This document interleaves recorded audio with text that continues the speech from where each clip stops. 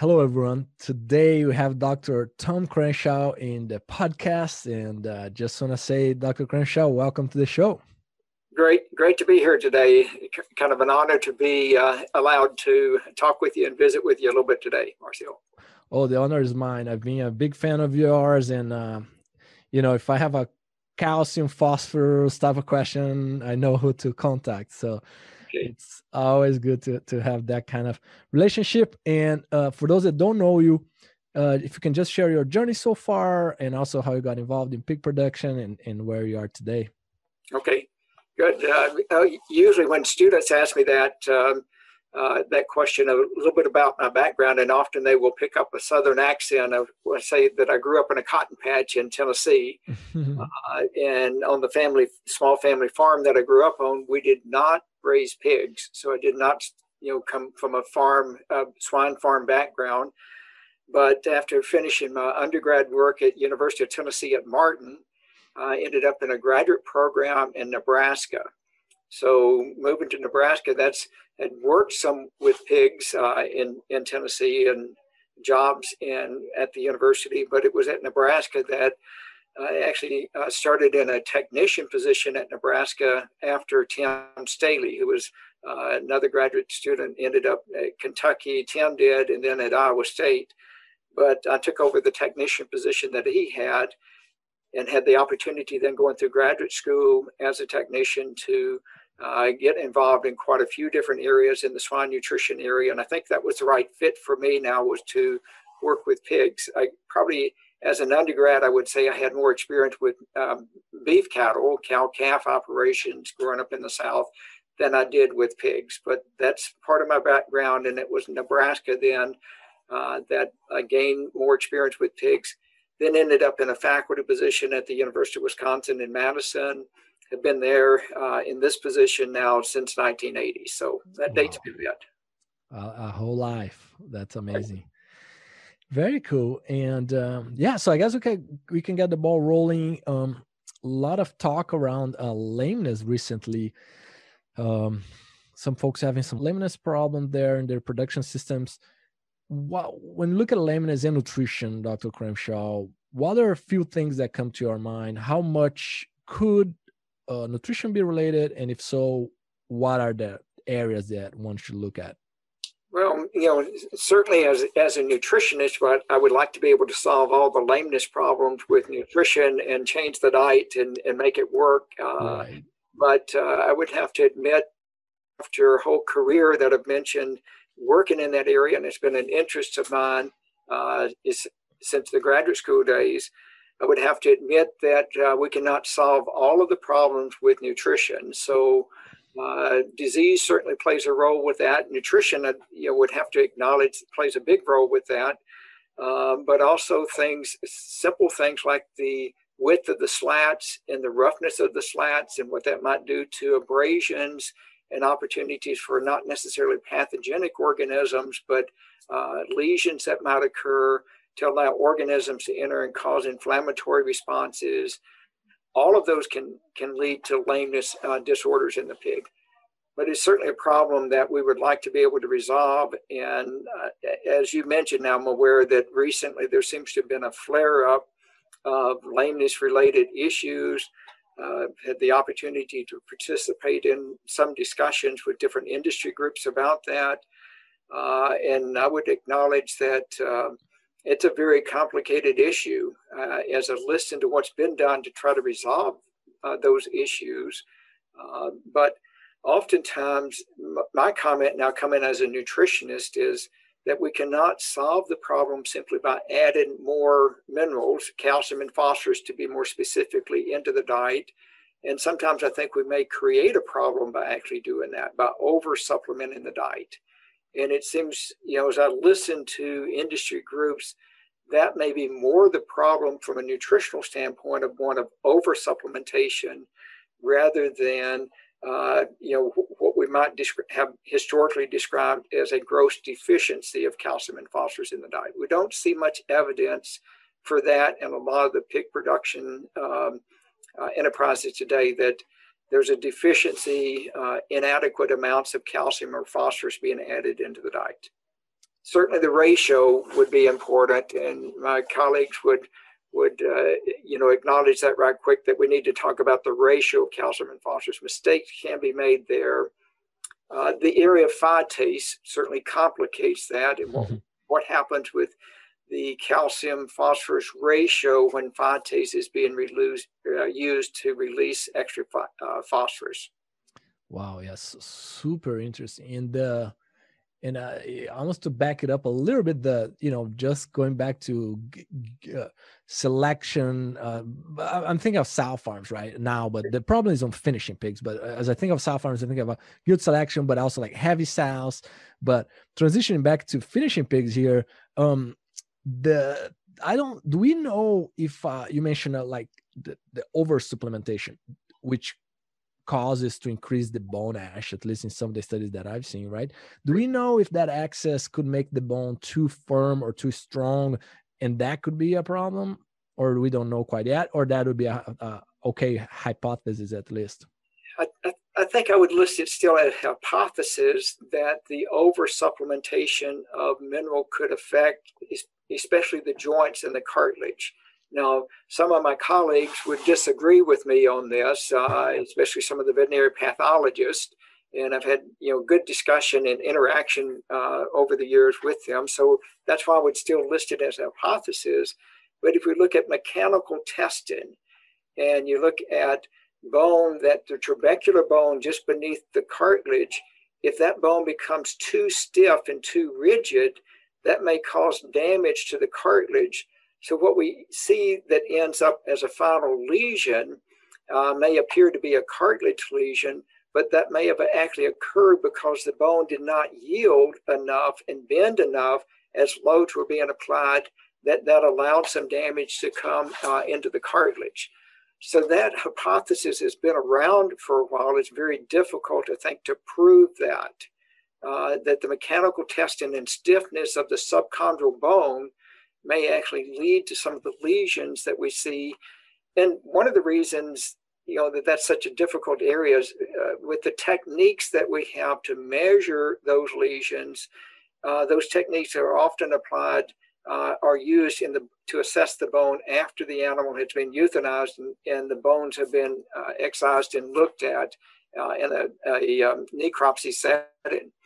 So some technologies now that we have quite an interest in uh, here that we're working on would be to develop methods that would allow us to assess the bone before the animal is euthanized. In other words, follow the progression of those throughout the lifetime of the animal. And we've done some preliminary work now in that area, of what we might do to even that subchondral bone and regions of interest just beneath the cartilage.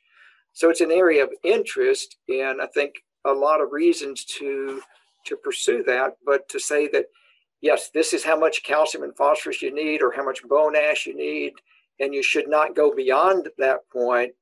That's a very difficult statement to make that I don't think can be fully supported at this time with the data that we have.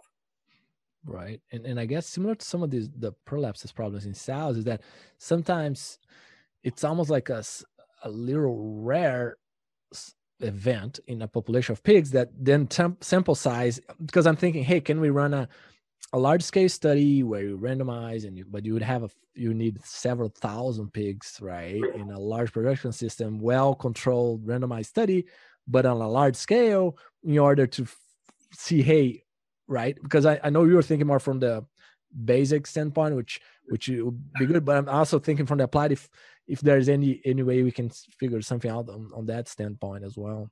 Yeah, the, the whole uh, problem of uterine prolapse, is, you know, certainly has gathered a lot of attention. But as you mentioned, now it, it is very difficult in kind of a uh, a controlled study uh, to generate enough animals to accurately predict that did this particular dietary change uh, have an effect. So our, our approach has been kind of the opposite to take a smaller number of animals in carefully controlled conditions and try to set up conditions that we might uh, induce physiological changes that would uh, would help us predict whether or not uh, something like hypocalcemia, a drop in um, blood calcium levels, would that perhaps be something that we could induce in the animal? And we've actually done that experiment uh, just recently, reported uh, the results from that. And we tried to induce hypocalcemic responses. Now, certainly I should say this, uh, and most, I think my colleagues would know this, but Wisconsin is known as the, as the dairy state. Mm-hmm. And so a lot of the students in the class and my colleagues in the department are in the dairy area. So I've always told the students in class, and they get upset with me a little bit with this comment sometimes, but I say that I've learned more about the dairy cow since I've been in Wisconsin than I really care to know about. Okay, so you know that, the, the building might fall in on me here with with that statement, but I have learned a lot now from my colleagues in the dairy industry, and especially about this whole area of hypocalcemia. That's a big problem in the in the dairy industry, and it's it's helped to formulate some of my thoughts. I should also mention that I, you know, growing up in a small family farm, I used to milk a cow by hand every day, but that doesn't take me very far with the dairy industry and uh, in, uh, in Wisconsin either. But the, the, hypocalcemic response now that occurs in dairy cows, and um, some of the colleagues here that have worked in that area and listened to their graduate students and seminars, understanding how that occurs in the dairy cow, I would say that the pig, uh, even though I've been asked that question many, many times, we have no evidence that the pig experiences this hypocalcemic response. Mm-hmm. So we have intentionally measured uh, serum calcium concentrations right around farrowing, looking at, you know, a few days before, a few days after farrowing, measuring serum calcium uh, concentrations in animals that have been uh, either indwelling venous catheters and looking intensely at the calcium levels. Uh, we went one step further, and it, it's counterintuitive, but uh, this is what we've learned in the dairy industry by feeding to the dairy cow excess calcium during the transition period, that actually leads to more hypocalcemic responses or milk fever responses in the dairy cow. And I think what we understand about that mechanism, it actually shuts down two major responses in the animal. The if the animal is fed a low diet, they increase the um, active transport in the GI tract to absorb more calcium but they also um, with a with a high calcium diet they would shut down the remodeling of bone the reabsorption of bone so in the dairy cow uh, the cow when they suddenly have a calf and begin to produce a lot of milk does not have the physiological mechanisms to mobilize the calcium so two things happen uh, or have been applied uh, in the dairy industry they would feed a lower level of calcium during the transition period which you say, mm-hmm. well, if, if they're hypocalcemic, they're bound to need more. But see, that's not true. The way the body, understanding how the body works. And then they also, also uh, by increasing the bone uh, turnover. And the application now in the dairy industry is going to acidifying the diet during the dry period using different um, anionic salts that might be used to cause the bone to be stimulated to turn over uh, and be geared up so the mechanisms, the osteoclastic reabsorption of bone that would occur during that time period, uh, the cells are ready and they're activated. When there's a need for calcium, they can help release the calcium from the bone. Well, with that sow, the diets that we typically feed to the sow are to growing and finishing pigs, that, for that matter, are already acidified. So the argument is that we do not need to do more to acidify the, the sow's diet because they're already being fed diets that would allow that to occur. Mm-hmm. So, uh, from from those concepts, though, we learn something about what controls serum calcium levels, the acidification of the diet, certainly GI tract absorption, and then what we might do with from a nutritional standpoint to make sure when the body needs more calcium, they're able to mobilize uh, the calcium from the bone to make it available to the animal. Wow. So, sorry, I'm, I'm, I'm, going too fast. Maybe. No, I, I mean, you're definitely exploding my mind here a little bit. which I love. Uh, so a few things here. One is that the sow is super resilient, right? Which is amazing, right? The homeostasis really work on that transitioning sow. Is that a fair statement or not? No, I, I think it is, and, and and part of it is, is the are the ingredients that we feed to the animal. If we fed the sow more of a forage-based, grass-based diet, if we go back to acid-base balance, mm. something that's higher in potassium, uh, then they might not have the acid load and they might shut down this remodeling activity. But the fact that we're feeding corn and soybean meal to that sow during gestation, for the most part, or distillers grains, those type of ingredients result in a net acid load. And the way the body compensates, one of the major mechanisms that the body has to compensate is mobilization of basically phosphate or buffer from the bone. Uh, Super cool. So, so to make it clear, right, when you're talking acidification, you're just talking, hey, the dietary electrolyte balance of the diet is on an acid um, result or net result. Uh, we're not talking, hey, add acids to the diet, right? No, yeah. no. It's, it's. I think it, the diet is the ingredients. The electrolyte balance is always already in a way that uh, would favor kind of a the need for the sow for the pig to get rid of that net acid load. Humans kind of for the for the most part fit that same category. So humans that would consume basically a typical Western diet, as it's labeled in human nutrition, versus if humans consume a strict vegetarian diet. Humans that could consume a strict vegetarian diet would have more of an alkaline load. So in that case, they would be more similar to the dairy cow. Mm-hmm or humans that would consume the typical Western diet would be closer to the pig. And that changes how they respond in mobilization of bone reserves. Wow, super interesting. And as you look um, into the late gestating sow, when it comes to minerals, but but even other uh, nutrients, I know I've been fascinated a lot last several years for the amino acid side. Well, we've well, at least my conclusion on the amino acid side is that that's how gestating sow really prioritize that those fetuses so much that if you give twice as much amino acids, it's not going to improve the birth weight. At least, you know, it's the balance of the literature in my reading. Do you see that prioritization as well uh, when it comes to other nutrients, or what's been your experience in that arena? Yeah, that's that's a tough one because it's it's easy to look at some of the studies now that have been done, and I would agree with your you know conclusion there that it's uh, the sow already does a lot to provide for the developing fetus. In other words, they will deplete their body stores in order pr- to provide for the developing fetus. I think that's kind of a standard set point that we might start with with the sow. What happens to the sow in subsequent reproductive cycles now might be influenced, but the developing fetus of that litter now that's being the South provided for would would be provided, I think, by the dam depleting body tissue reserves.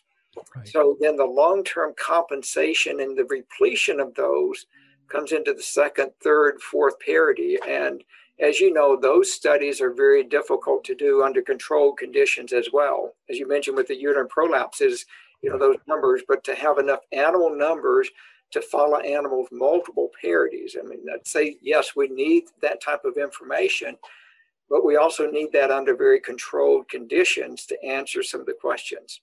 So right. we can do experiments with, you know, growing pigs and answer some of the questions. And we have data that would say, now I'm extrapolating back to the south, so be careful with my comments here.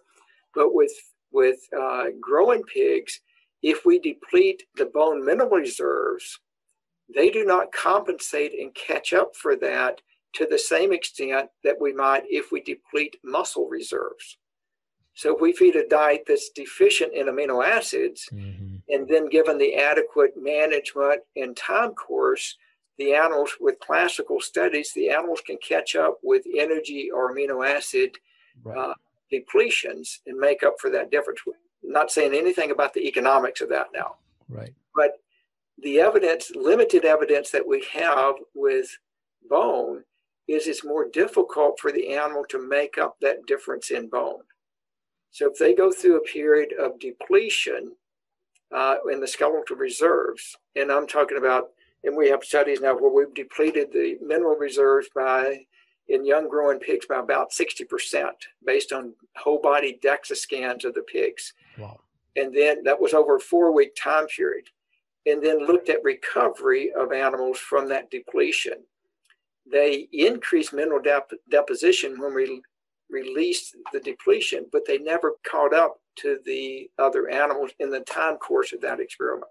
Was, was did not show compensatory growth responses in skeletal tissue. Very interesting. Did that one went all the way to market or not?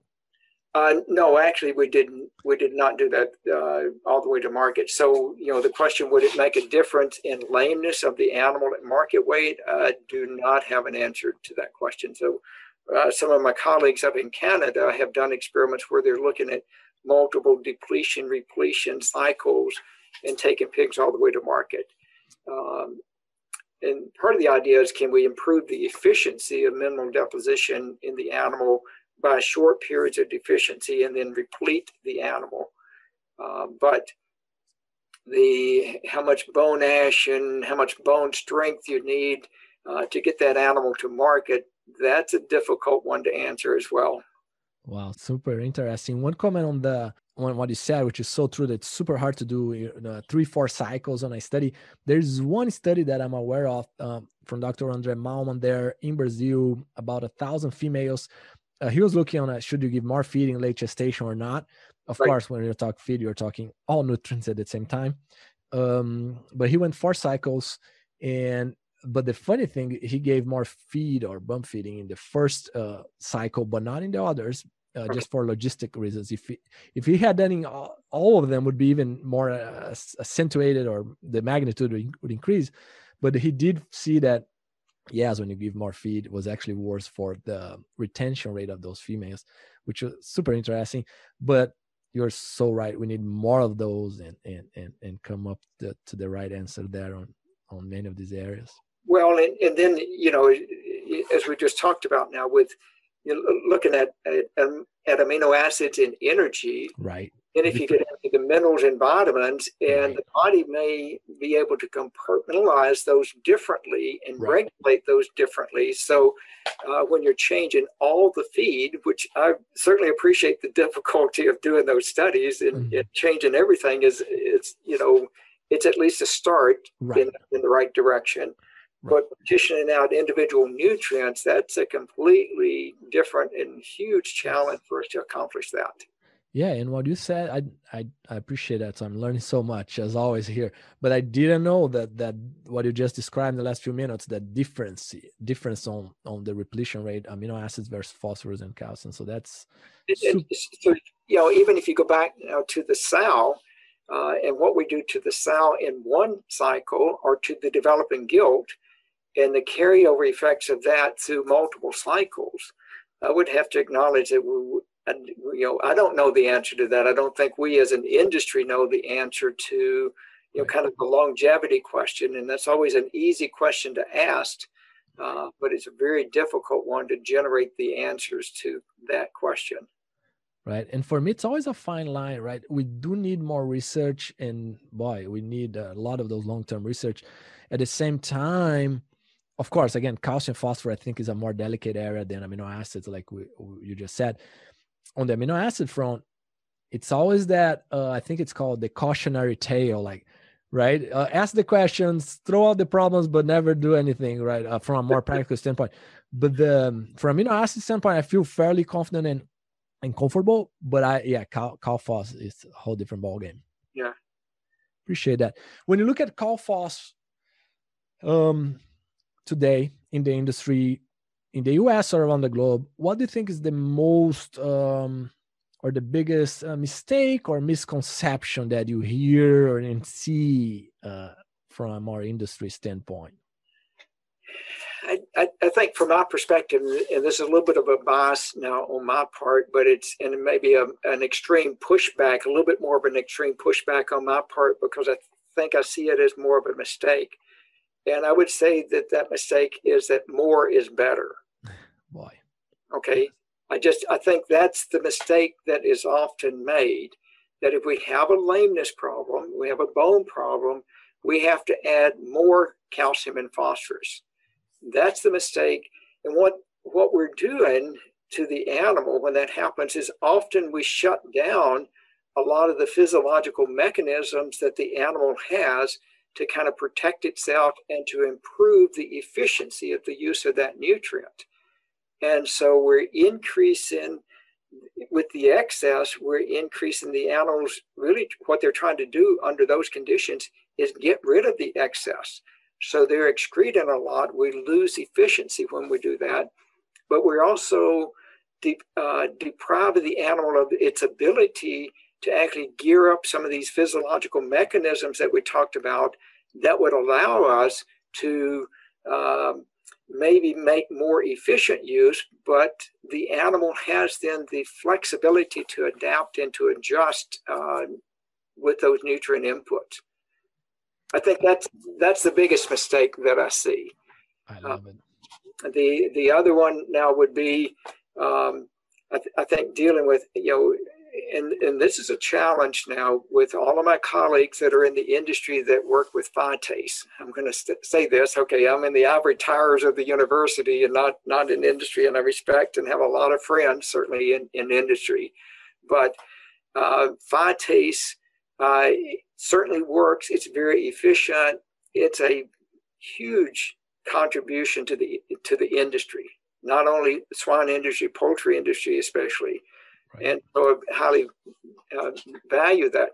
But the stability, the ability to predict the activity, and then as a nutritionist, we formulate diets, and I tease the students in my classes, okay, how many decimal points do we carry these calculations out to?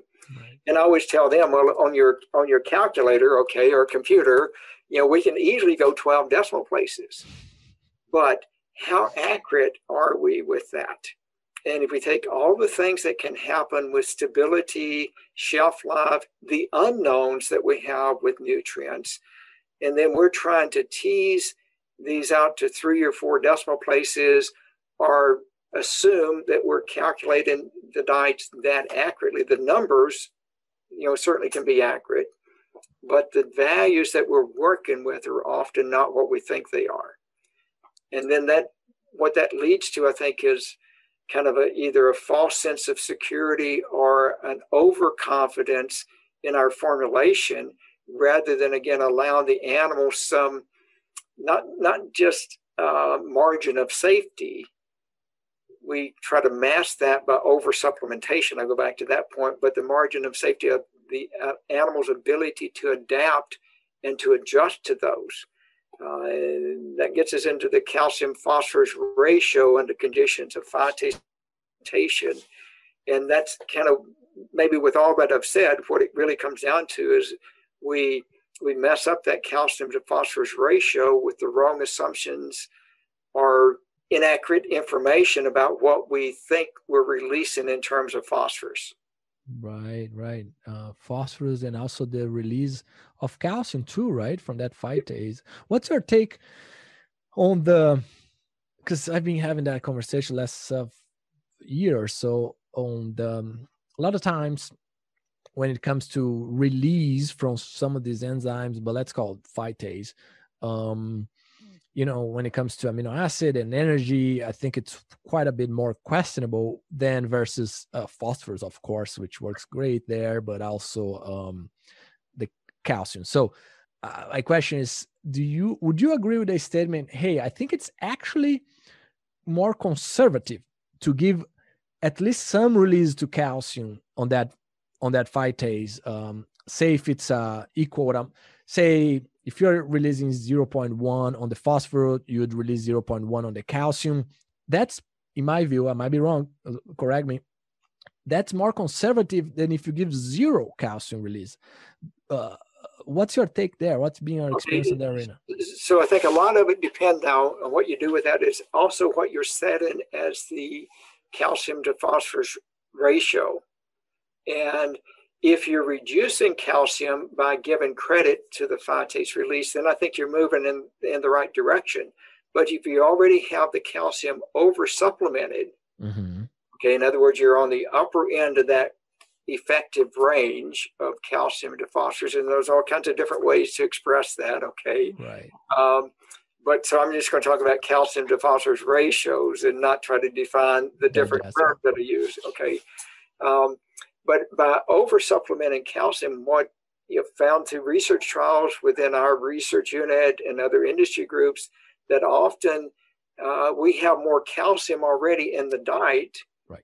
than what we're assuming with uh, what's going into the formulation uh, ingredients. So there's calcium coming in Soybean that could amount to about the same level as what you're giving credit to on the phosphorus or on calcium release from phytase. Mm-hmm. It depends mm-hmm. on how accurately you know compare compare the results of your formulation to dietary analysis if you have confidence in the dietary analysis. Right. So start with the ingredients first. Before I even talk about phytase, let's just make sure, hey, uh, do you know how much calcium is in the, the soybean meal? Because they put limestone there as a flow agent in your premix and your antibiotics, if you're using any, and th- those sorts of things, right? Right, right.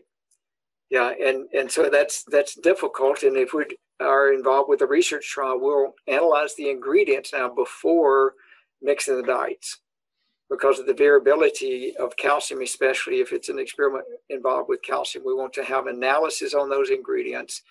And I'm going to say this analysis in our lab that we have confidence in recovery uh, from, and, and, more so than, okay, let's just submit a sample to a commercial lab and sorry, you know, my friends in the commercial labs. I'm not trying to, to slam those labs, but uh, sometimes you get some very, um, I describe it as unreliable results coming back. Calcium can be all over the place. Calcium is not that easy to analyze. Certainly no. easier than some other nutrients, but uh, it's it's not an easy analysis to do. Right. What's let's talk about that for a, for a second. What what's been your experience on how to go around that? Uh, do you need more samples? Do you what do you do? Right. Um, well, yeah, One, I would say calcium, especially in the, you know using uh, wet chemistry analysis would probably be important. Uh, our preference would be to to do nitric perchloric digest sulfuric acid digest will sometimes affect the results of calcium um, analysis. So doing a wet chemistry rather than NIR or some analysis along those lines. Those I don't think are very reliable at all for calcium. Let's see, I forget now where where you were wanting to go with me on on the question here is is oh, no that that that's helpful. I guess I was going why do you see a little more reliability? So you mentioned a few of these components of the actual analysis. Um, I, I remember I think it was Dr. Josh Florence. Some of his studies, you know, he what he did was just getting quite a bit more samples. You know, you, you basically I think everyone should know that calcium analysis stuff. So make sure you are prepared for that. You have a little more samples or that kind of stuff, right? right? So larger sample sizes certainly be good, but how you collect the samples and you know, if it's a pelleted diet, you're not quite as, as worried about what would separate out or mm-hmm. sort out, and then subsampling that even that larger sample becomes a critical feature of how do you subsample that because you send the lab, you know, a subsample, maybe of that larger sample, and sometimes the labs are giving you back the results of what you've sent them. And so the sampling may be the, the as much of an issue as what the labs. So if you you want to test your subsampling routine, send you know multiple samples of the same ingredient that you've subsampled, riffled those carefully, divided those samples, and then send that to multiple labs what's the coefficient of variation within the same sample that you've collected? Establish a procedure there in maybe a lab that you're working with where you have confidence with that. We kind of forget sometimes those basic statistical terms, okay, of how much variation is in that sample. And then if you think about that variation, if you have a CV of 30%, coefficient of variation of 30%, you know, you might as well use the book value and forget paying the lab to do the analysis. Okay. right, right. The other one that's interesting on this arena is some feed mills might call uh, doesn't matter if it's monocalcium phosphate or dicalcium, they just call dical. Sometimes. So make sure you're asking those labels and know exactly what's happening. Read, read, read the label, certainly, would be the comment, is make sure you know what's going into the diet. And yes, that terminology, uh, especially monocalcium, monocalcium dicalcium phosphate, dicalcium phosphate. You know, and an interesting little comment is some of the trace minerals in those ingredients also vary quite a bit. Mm. Uh, the manganese and um, iron content were very dependent on the source of um, monocal versus dical that you're using. That's a whole different uh, comment, but I think can also have implications on lameness problems in pigs. Super interesting. And then you get to the calcium side of things, right? Uh, calcium carbonate. We are talking what I forgot top of my mind, but 38% versus 36. You have you have that that sort of a difference there, right? Right. There, so there's a range certainly in in what you would have in in book values or the source. You know, the limestone. Uh, you know, the different purities of that would affect the outcomes of different uh, amounts of calcium that would be present. And that can have a difference in the loading values or the final values in your diet calculation. If in your formulation spreadsheets you have you know one value, but you're actually using a different product that somebody in the, the purchasing side of the feed mill got a, a good bargain on. Mm-hmm. And they need to transfer, make sure they're transferring that bargain information forward, and you can formulate diets now w- with the different values, but uh, you need to know that. Right. So since we're talking about uh, some of these analysis, uh, when you think about vi- we talked a lot about um, CalFOS, right? But uh, how about uh, vitamins or even minerals, but vitamins specifically?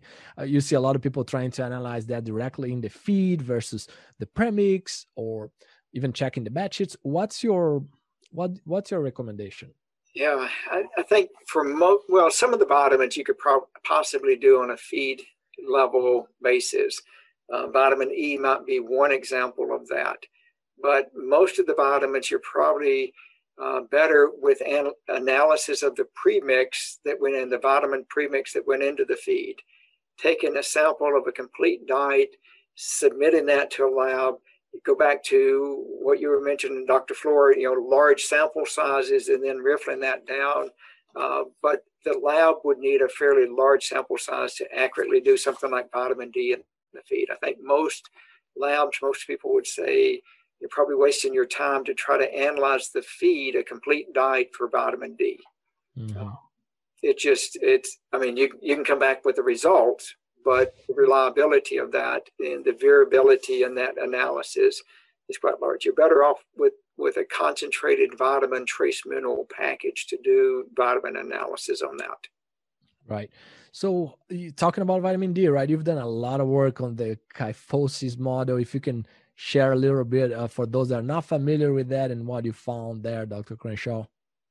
Well, that just you know briefly, and we've talked about this a lot of different times, and I'm sure some of my colleagues have, are, are tired of hearing our story. But maybe for those that have not heard about it, it uh, actually before a national feed recall, uh, we had kind of a year head start because we had an accidental deletion of vitamin D in a premix. And we went back and actually were able, after the fact, to confirm that.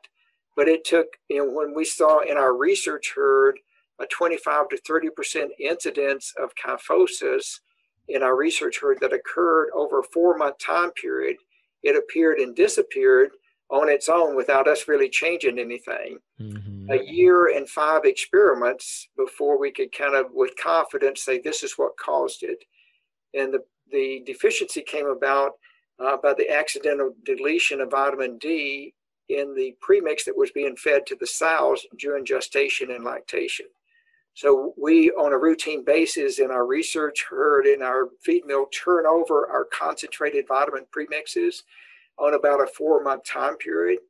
So it was that turnover and that management that it appeared disappeared really before we knew uh, the full answer to the story. And so, with quite a bit of effort, we went back and kind of proved that we could leave the vitamin D out of the gestation diet and create this humpback condition in the pig. So, there's, you know, certainly stories, but most of my colleagues in the commercial industry would wonder, well, okay, you solve that problem, just make sure you got plenty of vitamin D in the diet. Um, but from our perspective, uh, Laura Amundson, that's worked with me a lot on that problem uh, over the years, uh, we've we've learned a lot about bone and bone turnover because of that accident, and also the importance of the maternal diet.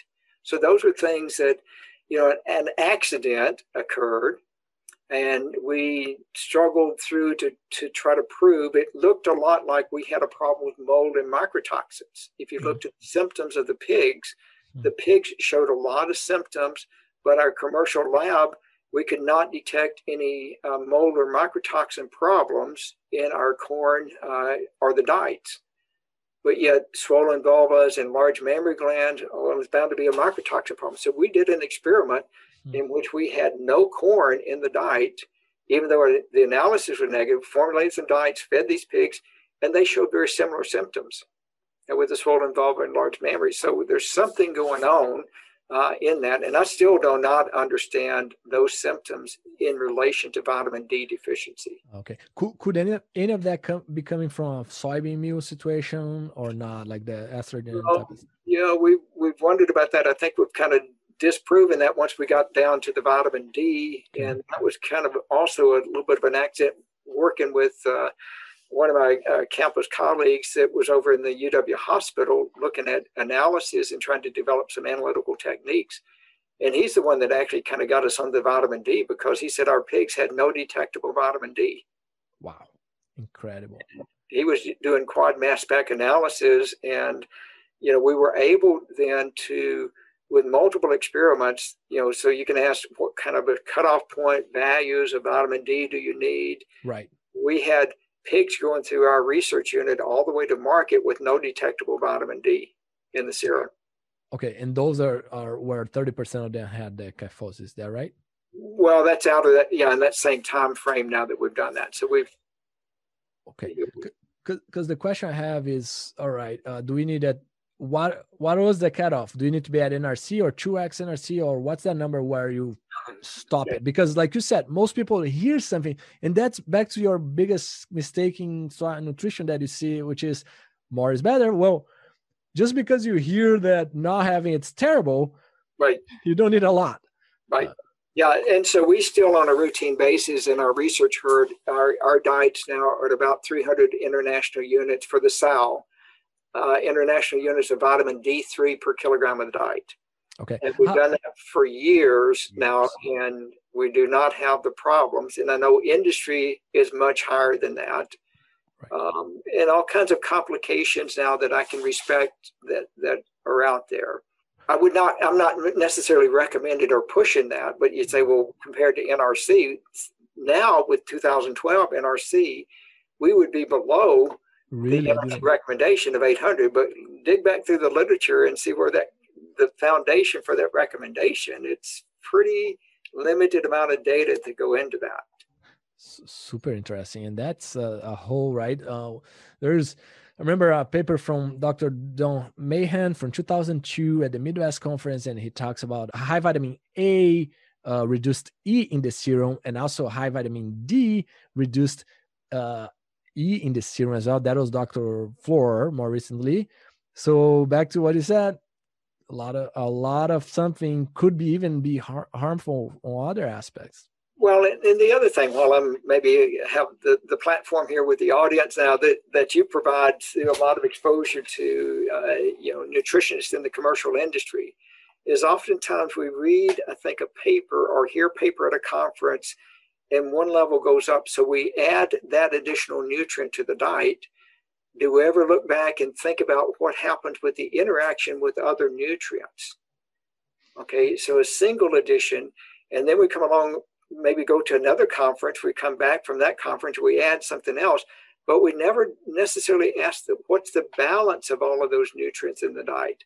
So it goes back to more is always better. We're always looking, trying to improve certainly that's i think is the motive we want to improve the conditions for the animal but we do that by adding more and then we add more on top of that we add more on top of that and we never step back and think well what's the potential interactions that might be occurring you mentioned the vitamin a and d you know there's certainly a physiological basis for an interaction between those two nutrients vitamin e and vitamin a and the roles they play in even an antioxidant certainly opportunities for interaction between those nutrients.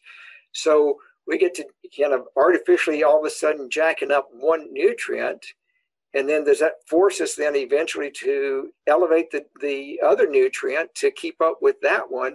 Maybe if we drop some of those nutrients back down to a more reasonable level, we might have the balance and not the excess that is there.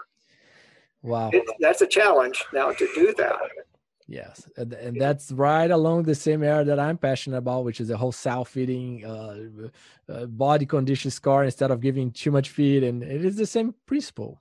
Um, since we're talking about this, uh, you know, vitamin E and maybe selenium, right?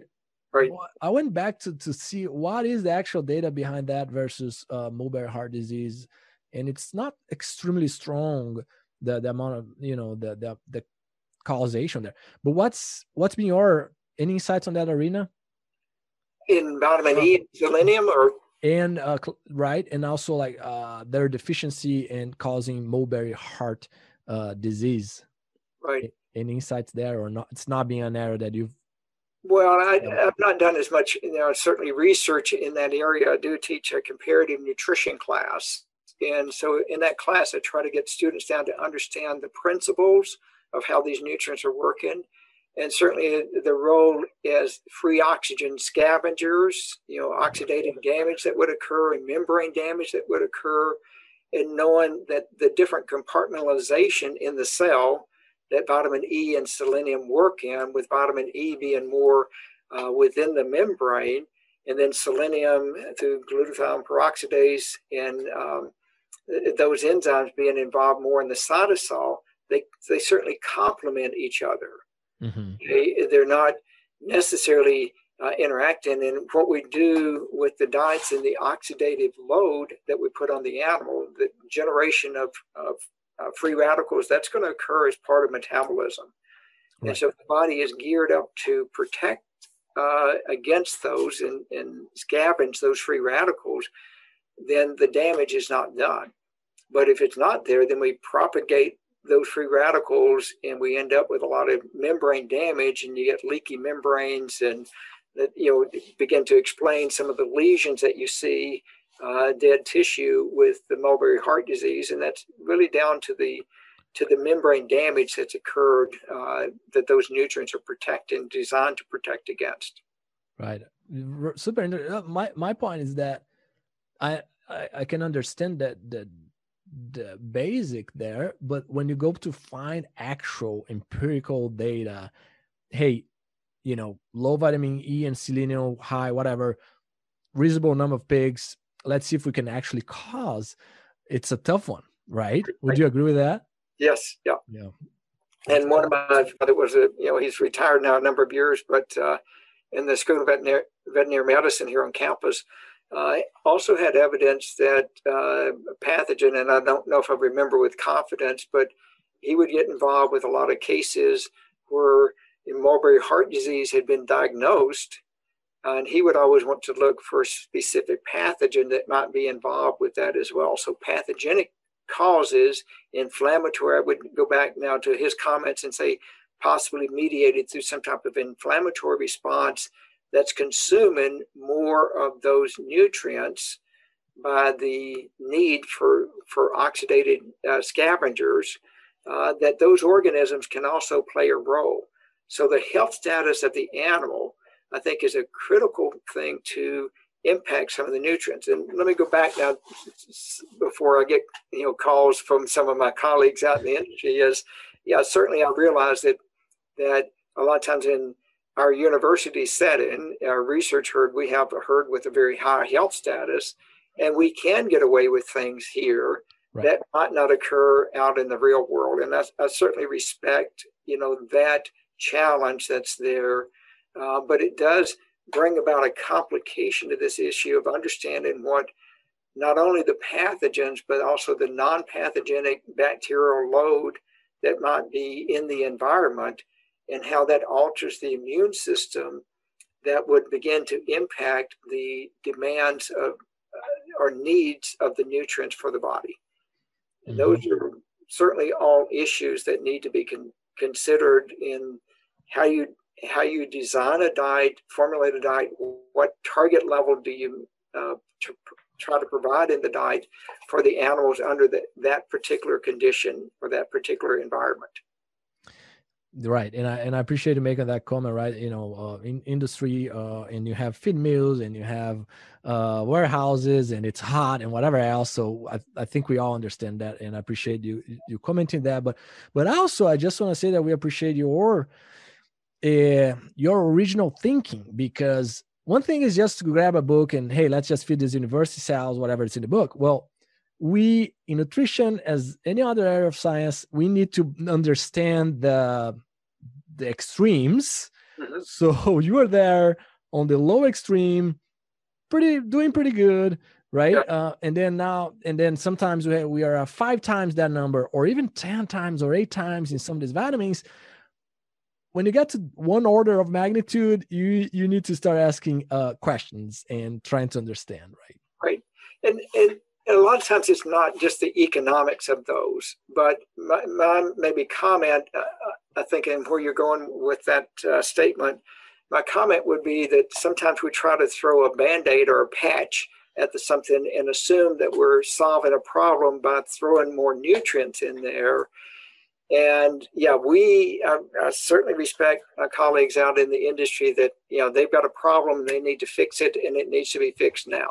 I mean, the pressure is there, the reality is there, right. but I'm not always sure that that's the right fix. We feel better that we've added something into the diet that should fix the problem, mm-hmm. but we would not continue to have problems if that had fixed the problem. Okay.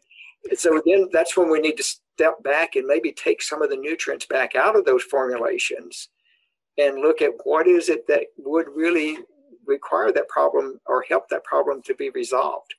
Uh, identify that problem. I mean, I made the comment with the vitamin D deficiency.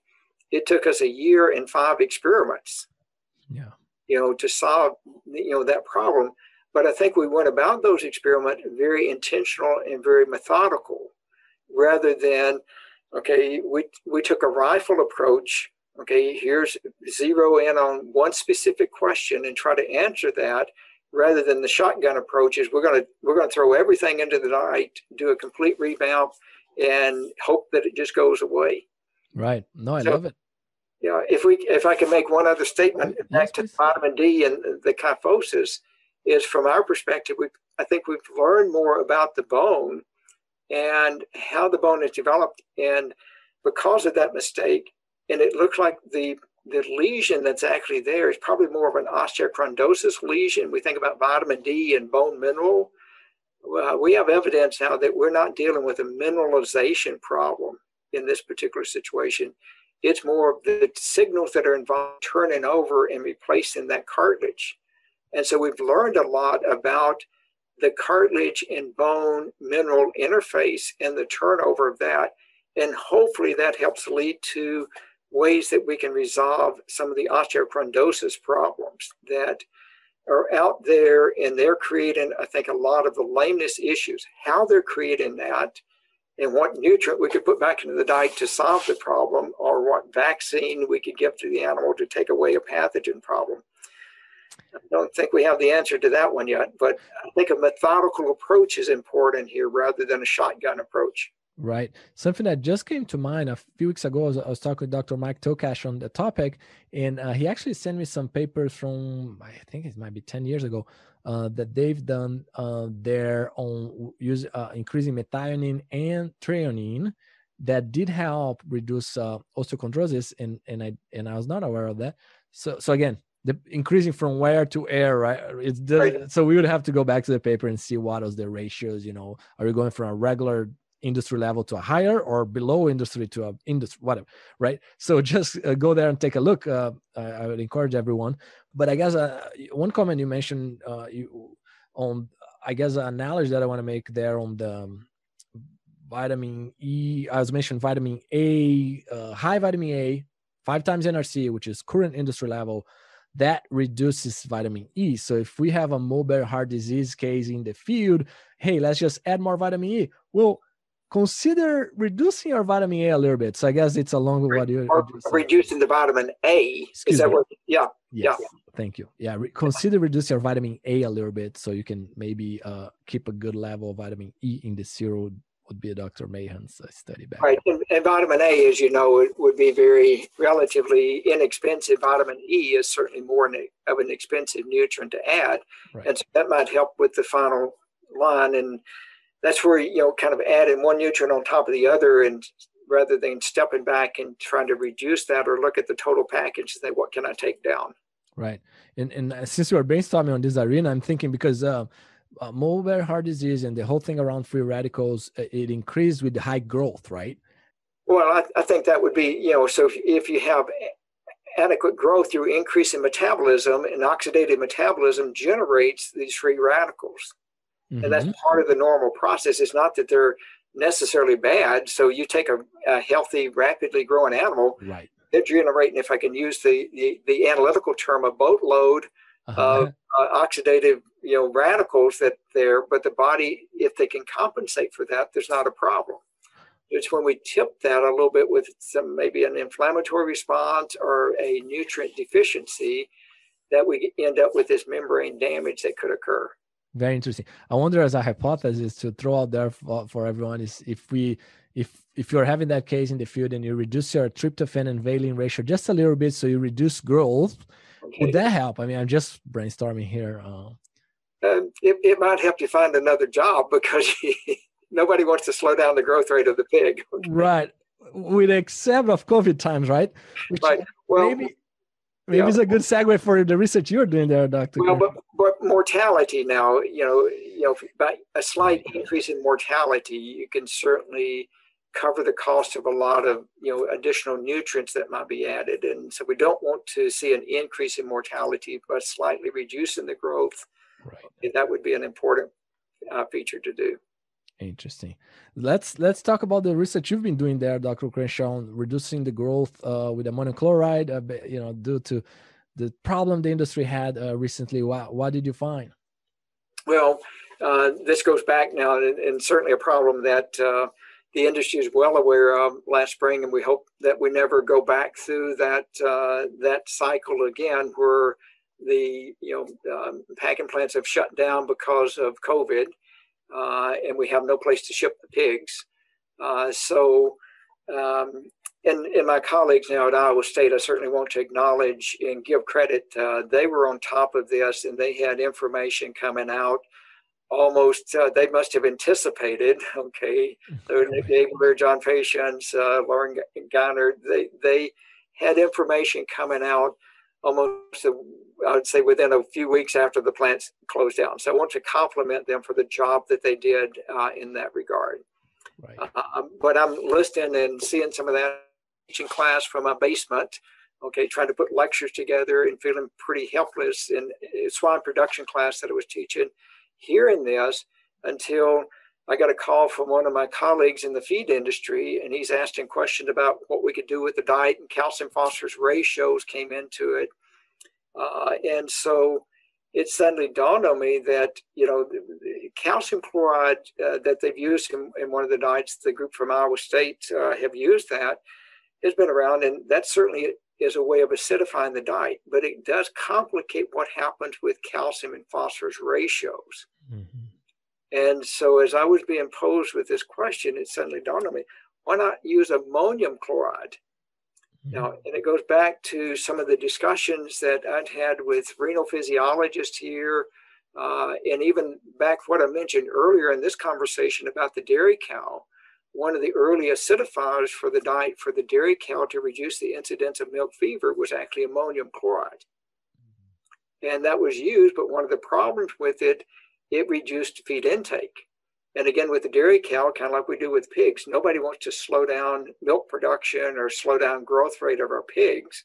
And so uh, that product was often masked or encapsulated things to prevent it from reducing feed intake. But what we're trying to do when the, the slaughter plants are closed down and we want to stop the growth rate of the pig, that's exactly what we need to happen is we need food intake to drop when you have animals that are group housed and you don't want aggressive behavior to occur, they have feed in front of them if they can, you know, have the feed and then they're not as aggressive. But then as electrolytes, if you can turn it around and not necessarily compromise the bone with what you might do with the calcium and phosphorus, uh, that looked like, wow, that would be a much simpler approach. Uh-huh. So going back into the literature into the 1940s and 50s, I mean, ammonium chloride has been used in studies, a lot of studies, renal physiology to understand kidney function in rats and humans. You can find plenty of papers in the 1930s and 40s where humans are being supplemented with ammonium chloride trying to understand renal function. So if we understand what's occurring with the kidney, ammonium chloride is much simpler than calcium chloride and then it's less likely to complicate some of the other issues. It's just that nobody's ever really fed that much to pigs because nobody wants to slow down the growth rate of the pig. And then all of a sudden we want to slow down the growth rate of the pig. Mm-hmm. So we did that. Now we had at our university research facility, we had the same problem that the industry did. We had no place to ship our pigs. And, wow. you know, we tried to manage uh, we were fortunate having an empty barn on the experiment station that we could move some pigs into. But uh, our crew, and I give them credit because uh, we're working under quarantine, isolation, and all of those uh, conditions. So we cut into our water line and added ammonium chloride into the water. Mm. It's water soluble, uh, very easily going into solution. So that would give you a very rapid way to respond to a sudden stop shipment order. Mm-hmm. Certainly, with the plants closing down with COVID, uh, we could also face a similar challenge with a foreign animal disease break. Again, something we don't want to happen, but if we needed suddenly to stop the growth rate of the pig, if you've got bulk bins that are full of feed and you need to stop rapidly with a sawzall, you could cut into a water line put a pump on that. We've got a system now worked out. We can show and be glad to share that uh, how we managed, or I should say, uh, Jamie and our, our research uh, crew managed to cut into the water line, set a tank up, and we were feeding ammonium chloride within a day through wow. the drinking water. Any any recommendations on dosage, but also, uh, as I understand, you you've done also a, a regular uh, study as well on that on that. Yeah, we have now some ongoing studies, and after the ammonium chloride into the drinking water, we did try that. The first week, we had a 90% reduction in growth. Oh, wow. Should give one caution there. We did at the towards the end of that week, we began to see a problem in a couple of pigs. The pigs looked healthy, they looked normal. There was no aggressive behavior. I mean, that's I probably shouldn't admit this. You know, this is being recorded, right? But uh, hopefully it doesn't get back to our deans. But I snuck into the unit about five o'clock early one morning just to look at the pigs. Mm-hmm. I'm concerned, are they just not drinking water? Mm-hmm. But they looked good. Now, with that, we did run into a problem with a couple of pigs developing ulcers. Mm-hmm. And that was alarm. We actually terminated that first study because of that. So we don't mm-hmm. want to create a problem in the animal uh, we know now that that problem was probably not directly related. It may have been aggravated by the fact that they had ammonium chloride in the water. Mm-hmm. So it's a caution that's there. But we went from that then to can we add it into the feed? Mm-hmm. So we added ammonium chloride into the feed. And I know that there's not AAFCO guidelines now for feed additives. If you're selling feed commercially, uh, there could be a problem with adding ammonium chloride. But there's really been no research done with ammonium chloride into pig feed for this particular application. So, as a research university, we could do that. We added the ammonium chloride, and oh, I, okay, I got my number wrong. The first week with water, it was 80% reduction in the growth rate. And then we terminated that experiment. The first week with, I think it was 2% addition of ammonium chloride into the feed, we reduced growth rate by 90%. Wow. Wow. Now, again, the pigs looked, if, if you looked at the pig, you would not know that they were not growing. They were active, they were moving, they're not lethargic.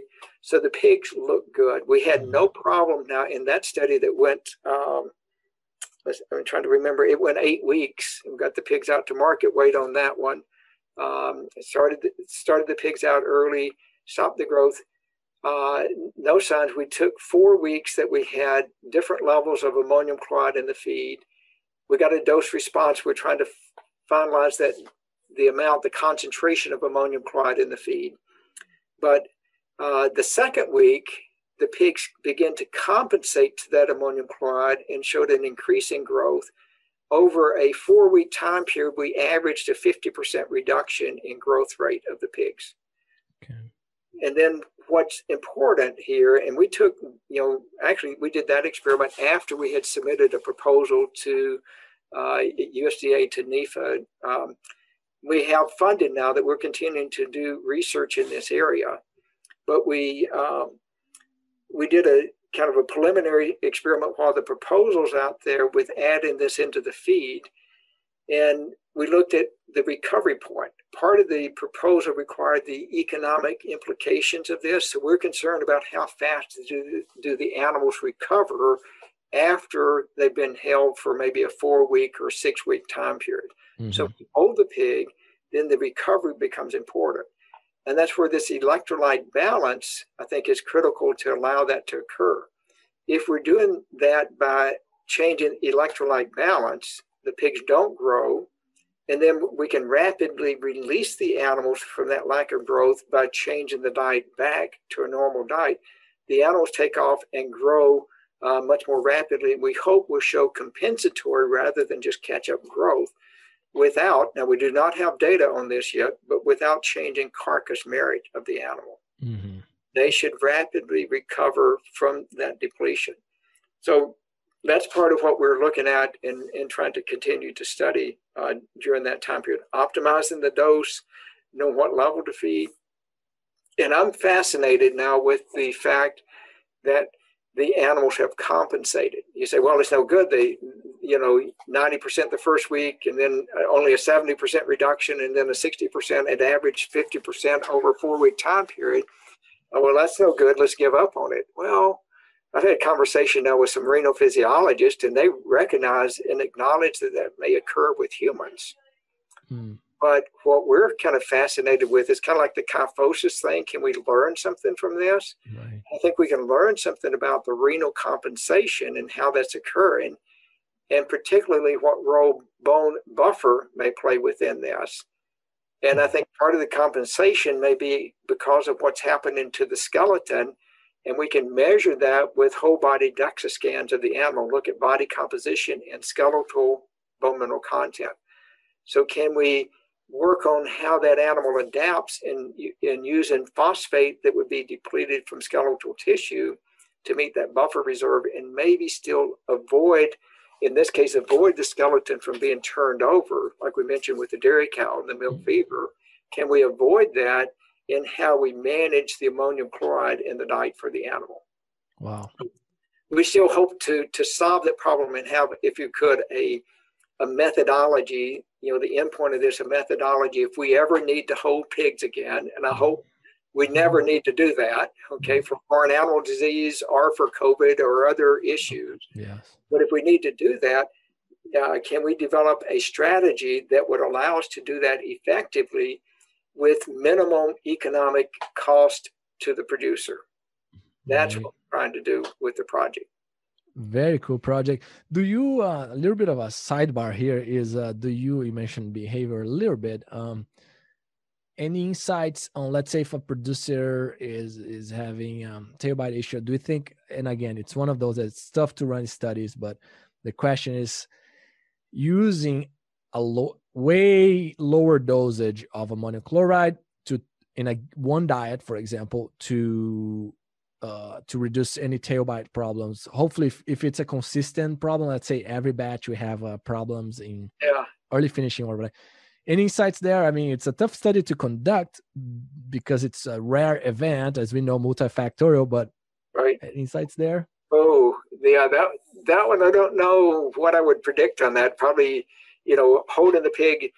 A, a lot of the aggressive behavior that you see, uh, my opinion now would be contributed by you know multiple factors involved with that, even to the point of weather changes. I know Bob Fritsch and some of the, maybe the listening in would recognize that name. You know, kind of an animal science ag engineer uh, from Nebraska. worked a lot that, and Mike Brumm, now was his predecessor, followed through. And a lot of environmental weather fronts coming through tend to affect that. That's even in a confinement building, right. and those low pressure uh, results coming through. I don't know how to control that. Okay. Super multifactorial, right? Right. Yes. Very good. I appreciate your insights there. Anything else here on CalFOS nutrition before we move to the three questions, Dr. Crenshaw, that I uh, ask every guest?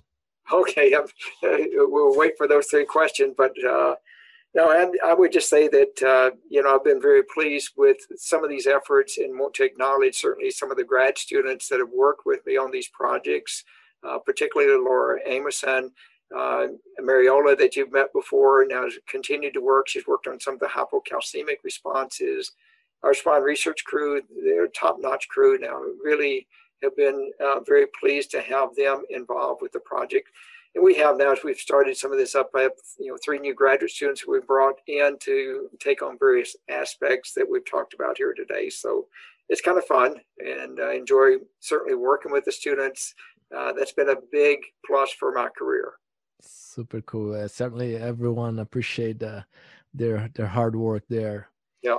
Very cool, Dr. Crenshaw. So the first question is, uh, what's your favorite uh, swine-related book? I, I, would have to say this this textbook on uh, swine nutrition. Now, and part of that, uh, the North Central Regional Committee. Uh, the reason I would say that's my, my favorite, not just because maybe I've written a couple of chapters in, in some of those, but it's actually to acknowledge how that book came about. And it came about through this North Central Regional Committee on Swine Nutrition, where we coordinate activity. But Elwyn Miller at Michigan State, who's no longer living, but Elwyn Miller had the, he was the brainchild behind that idea, the first edition that came out of that. And then that committee worked together to generate that book. Then Austin Lewis and um, um, Lee Southern took over the second edition and revised that. So you know, if I look back at kind of a favorite book, it's not that I spend a lot of times laying awake at night reading it. Okay. but uh, it's it's the history behind that book that uh, I'd say it's a good uh, it's a good reference book to look at. Super cool, and that's um is the blue cover, right? I think it's yes, the second yeah, edition. Yeah, cool. Right. And then how about a book outside of agriculture any other area any anything there that you like or resource probably the, the the only other book that i spend you know any significant time looking at or reading at all is the bible. Nice. And that's a, a resource for me and a comfort for me. And so when i need and get too stressed out a little bit that's the book i would turn to to bring peace and hope for the future. And certainly over the last uh, say six to eight months as we've gone through this pandemic that's been a a wealth of comfort and reassurance for me. And I'd encourage you, if you've not spent time reading the Bible, spend some time in that. You can find some very strange things in there. Okay, I would admit that, but you can also find things that would bring a lot of comfort and a lot of peace. Amazing. Uh, thank you for that.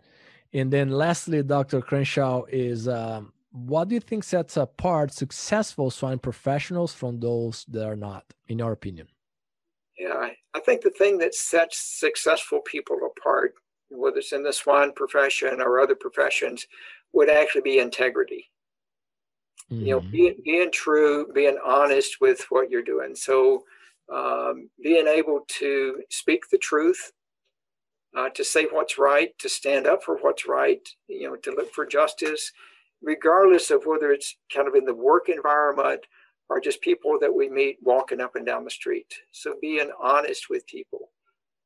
I have to say a little bit of a comment, if I can, on that word integrity. Uh, that word is thrown into the title of my PhD thesis. Mm-hmm. Okay, and the reason it's in there, I have to give credit to Austin Lewis, who was on my committee now at Nebraska. And uh, his definition of the word integrity is that this is why you should use that. I worked with bone break and strength and bone strength. That was part of my uh, my PhD thesis. But he said integrity means soundness. Mm-hmm. It means honesty. That's the way I would have interpreted. But it also means soundness. So a person with integrity, being sound, being honest, being true with what they do, I think that's what sets people apart. I love it. Dr. Crenshaw, this is a lot of uh, insights here over the last uh, over an hour here. A really enjoyable uh, chatting with you, learning from you, and I'm sure the audience uh, appreciate it as well. So thanks for all the work you do. All right, good. Thank thank you for inviting me. I've enjoyed being a part of this, and uh, keep up the good work and new ways of getting information out. That's changing a lot uh, over my career, or has changed a lot in how we distribute information. Uh, certainly, a very effective uh, approach that you have going here. Absolutely, appreciate that, and I, I, tell you that there's more coming. I was just found there's a new crazy app that people jump in and out like it's almost like an open podcast live. Uh, it's crazy. It's yeah, it's crazy. There's a lot of stuff coming up uh, down the line. Super cool. So thank you so much. All right, good. Thank you. Imagine if, with a few key concepts, you could have the potential to create a massive positive impact by bringing from hundreds of thousands to millions of dollars for swine producers.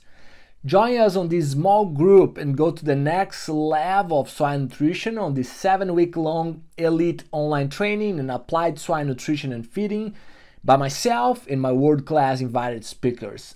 Additionally, you enjoy an exclusive community to exchange ideas. Go now to www.eliteswinenutritionist.com.